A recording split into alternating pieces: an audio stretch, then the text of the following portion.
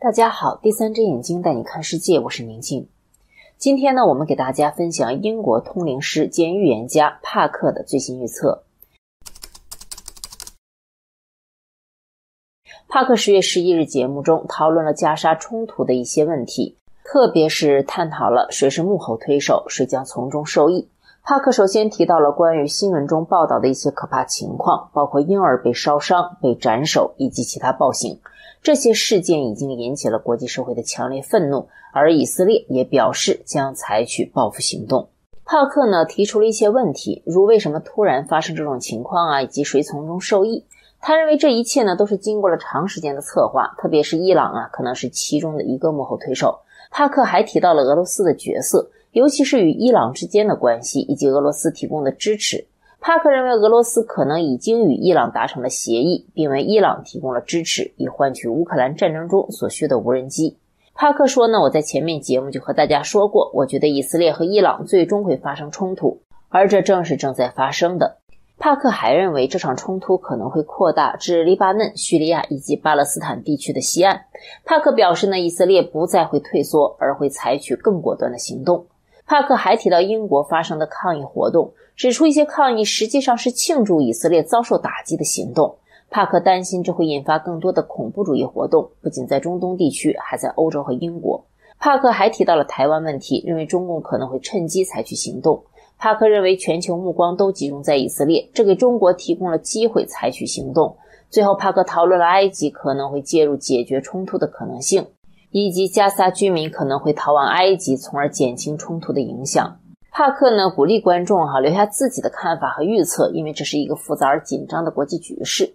那这里呢，我要简单的提到一个预言，就是旧约圣经中有一个末日预言，是关于这个世界终结的预言。这个预言被写在了以西结书的第三十八章之中。大致的意思就是说呀，全世界的以色列的人民，也就是神的子民犹太人，将从世界各地返回家园。意思应该呢是返回以色列，从此在以色列安心的生活下去。但是很久之后呢，极北之地有一个叫哥格的，将带领北部联盟军进攻以色列。当哥格全面入侵以色列的时候呢，救世主就会出现，用神力一天之内将北方联盟军全军消灭。全世界的人都将看到这一幕。也都将相信救世主的存在。这个事情之后呢，就将进入了七年大灾难。这七年中，世界人口将会减半。大灾难结束之后呢，世界末日就到了，世界就会更迭，也就是从人掌管的世界进入创世主掌管的世界。那么，这个预言中涉及到两个非常重要的国家，一个是以色列，一个是哥格。现在，圣经学者普遍认为呢，这个哥格呀，有可能就是俄罗斯。如果哥格就是俄罗斯的话，那么这个末日预言呢，也就是说这场战争开始，世界就进入末日，创世主就会出现。而这则预言中也表示，创世主早就来到了世界上，而且呢，早在人中，只是说出来的话呢，很多人并不接受，也不愿意听。就在这最乱的过程中呢，创世主一直与我们同在，而世界上还有另一种力量也在试图阻止世界末日。然而，他们最后所做的一切呢，却给世界带来了很大的灾难。也就是他阻止的时候，就发生了世界大战，这也成为了末日之战到来的导火索。之前呢，很难将这个俄罗斯与以色列挂钩，哈，不明白这两个国家因为什么能打起来。而今天若是帕克的预言成真呢，那是不是俄罗斯就在这种情况下与以色列有了交集？那会不会真的触发这个预言成真呢？接下来呢，我们回到当下的现实世界中来，看看中共在以巴战争中的表现。长期以来呢，中共一直在中东地区复杂的风云变幻中是左右逢源哈，深耕朋友圈，刻意与各大地区力量都保有良好的政治关系，其中呢包括彼此严重对立的巴勒斯坦抵抗运动组织和以色列。但自二零二一年开始呢，就转向批评以色列。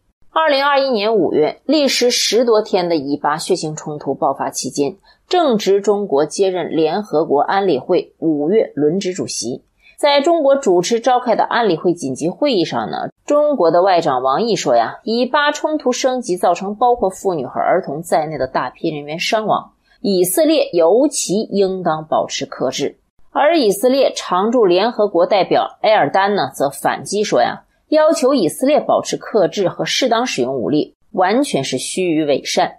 以色列耶路撒冷邮报的一篇评论说，中国已经成为国际上。就最近加沙冲突中带头批评以色列的主要国家。以色列是全球重要的研发中心，在高科技行业的很多领域呢，都处全球领先的地位。世界上数百家高科技跨国企业都在以色列设有研发中心，其中包括中国的华为、联想和小米等几十家公司。以国创新局首席执行官阿哈隆曾对中共官媒新华社透露说：“呀，中国对以色列的科技创新非常感兴趣，他几乎每周都会接待来自中国的考察团。多年来呢，以色列还不顾美国的反对，与中国签署大宗科技转让合同。”甚至曾向中国提供敏感的军民两用技术。美国国会美中经济与安全审查委员会的一份报告说，以色列是仅次于俄罗斯向中国提供武器系统第二多的国家。以色列呢，帮魔鬼变强，这在神的眼里算不算一种业力？哈，需不需要偿还？所以在这里呢，我们还是奉劝所有的人，不要被眼前的好处蒙蔽，与魔鬼为伍。之后呢，在美国的压力之下，以色列2020年决定将华为排除在 5G 建设之外。接着，我们再来看看中共在以巴战争中的出色表现。自从哈马斯七日突袭以色列，造成大量死伤，部分在以国境内工作的中国人也遭到哈马斯攻击。中方十四日宣布，至今共造成中国公民四死六伤二失联，却对死伤原因闭口不谈，甚至封锁微博相关报道下的留言评论。中国政府中东问题特使翟俊十月十五日公布，以哈冲突已导致四名中国公民遇难，另有六人受伤，二人失联。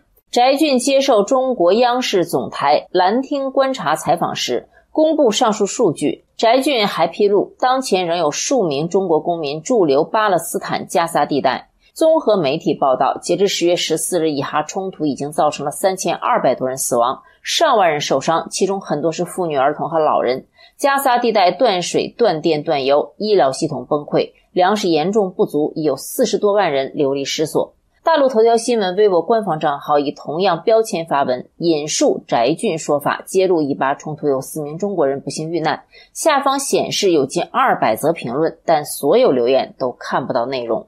目前在微博仅有部分个人账号以同标签发文，可看到留言。一名网友透露，以色列农庄有很多中国务工人员，结果遇上哈马斯袭击，显然很清楚造成中国人死伤的是哈马斯武装分子。中共官媒中央电视台中文国际频道在微博以“巴以冲突已致中国公民四死六伤二十联”标签发文，指出中东问题特使翟俊。将前往中东地区协调各方停火止战，但这则消息发布一小时后，底下仅出现三则评论，其中两则完全看不到，另一则只称和平不好吗？怎么总要搞事？还有大陆网友则吐槽相关新闻自始至终都不说明是谁害的，但是懂的都懂，暗指中共当局不愿证实是哈马斯杀害中国人。还有网友对此怒斥：万恶的哈马斯，反人类的恐怖组织！谁杀害同胞，谁就是敌人。哈马斯突袭以色列后呢，双方交火已经一周，加沙地区呢房屋遭到了严重的损毁，生灵涂炭。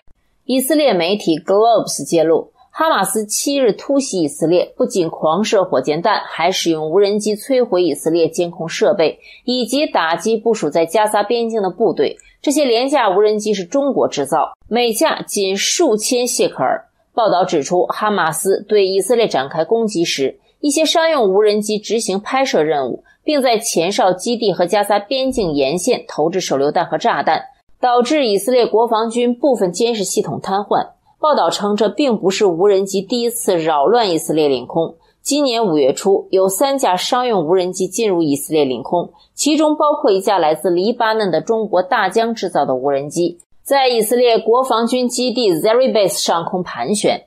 以国专门分析战区的国防安全顾问伊尔·延斯巴克表示，无人机市场大都由中国控制，光是中企大疆就拥有百分之七十的市占率，这让西方非常警惕。警惕毫无用处，行动才能说明问题。前些年，乌克兰给中共输血，偷偷给中共军事技术，最明确支持大陆，并且不承认台湾。现在怎么了？不是照样被中共一脚踢开？泽连斯基非常不满，但是却从不敢说中共一个不字。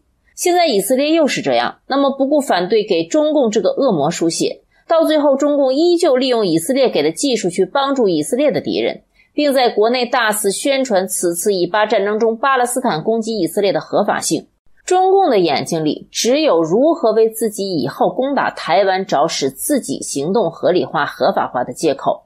至于昔日的盟友们，无论中共曾经从这些人和政府的手中拿到了多少好处，只要今天不符合自己的战略意义，那就把这些恩公们全部打倒，再让自己被洗脑的民众们上去补上千脚万脚，让这些曾经帮忙输血的友邦们永世不得翻身。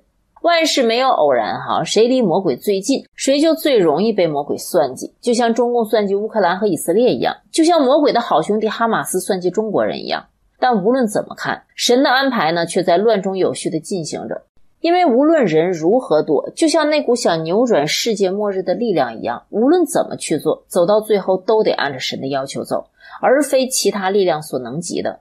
所以还是那句话，远离魔鬼，回归对神的正信，才是在这最后的乱世中求生存的唯一出路。